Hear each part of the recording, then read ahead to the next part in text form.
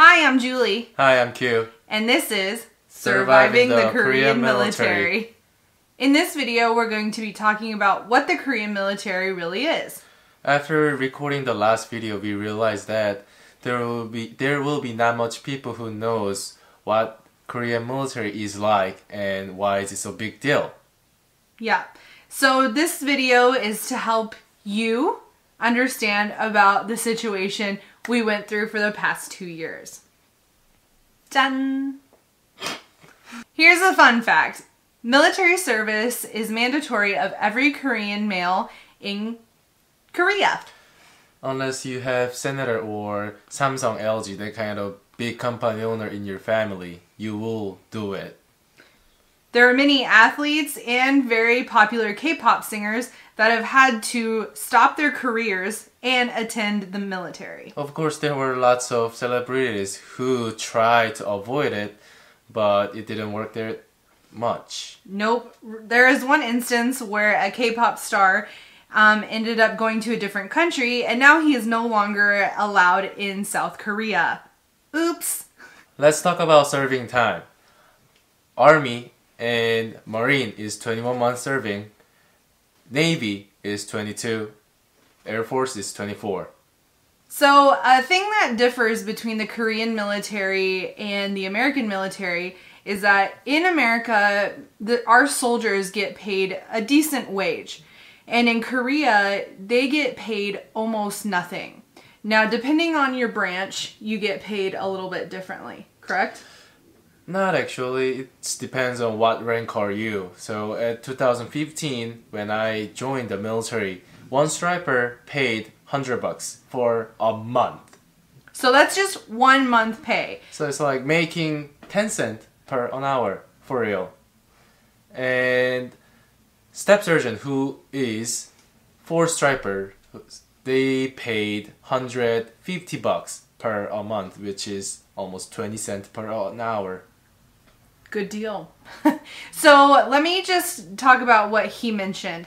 A one striper is someone who is brand new to the military, someone who just got out of basic training. Mm-hmm. And then someone who has four stripes or is a staff sergeant is someone who is very close to the end of their military serving period and they are just about to leave. Okay, so let's talk about vacation time.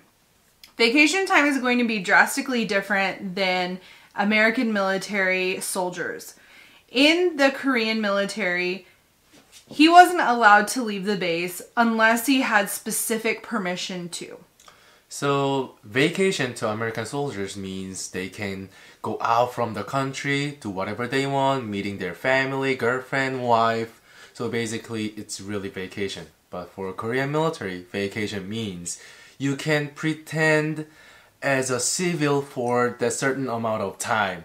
Like you can go to your family, girlfriend, wife, if you have.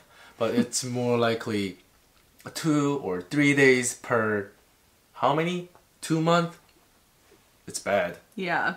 Also, another thing that was really crappy was our communication with each other. So, in basic training, he wasn't allowed to have his cell phone, he wasn't allowed to use any kind of internet connection.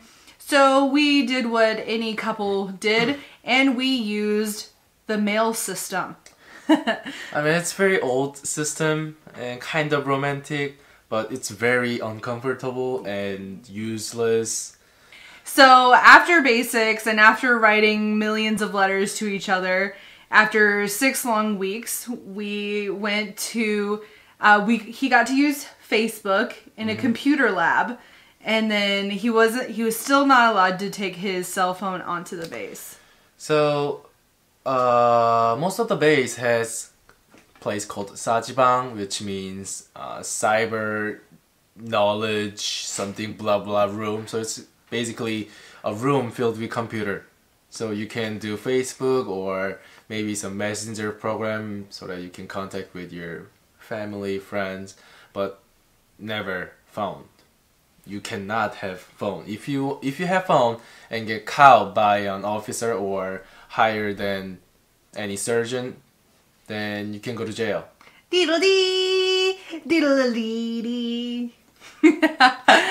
So this is our story, and I hope you check back in with us every week when we upload a new topic about our unique military experience. And we appreciate you watching. See you next time.